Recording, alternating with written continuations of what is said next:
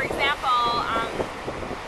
a lot of people have trouble with the way their stomach looks. If you don't have a gym membership, I advise you to do 100 sit-ups a night, 100 in the morning, and keep doing it until your stomach flattens out, and the more you do it, the more endurance you get, and the more sit-ups you'll be able to do, and at least you'll have a more toned look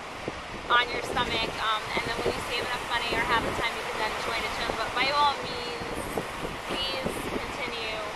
out and don't let anything stop you.